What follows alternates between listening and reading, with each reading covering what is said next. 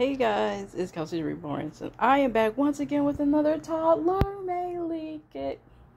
This is like one of the last Mei Li kits that I'm going to be doing. Um, do I have one more? No, I think Leonie is one that I have. I don't know, but this is the last custom one. Anyway, I'm going to show you guys. Oop, it's blurry. It's blurry. Oh, there she is.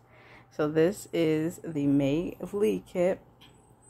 Ignore her mismatched clothes. I'm really just trying to see which clothes uh I have here.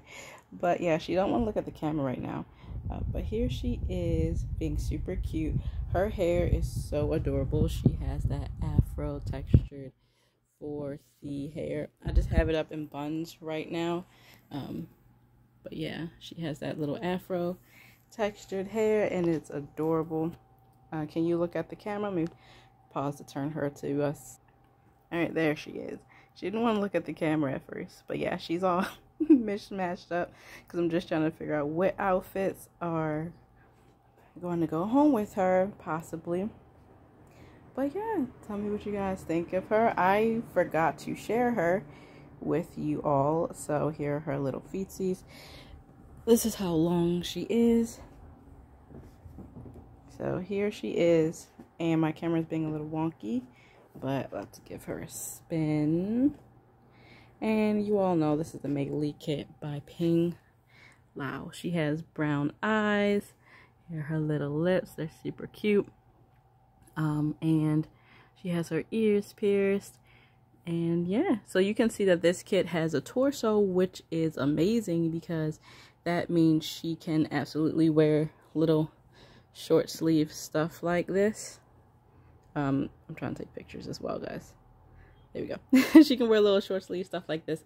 And also in the back, let me just move her. I'm going to pause and turn her around.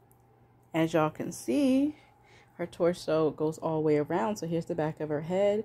And she can wear clothes like this. So that is an awesome feature of this. And she has a chest plate um, her head is ball jointed, so you can see it moves really easily. Um, but she does have a, ignore little baby heads behind you.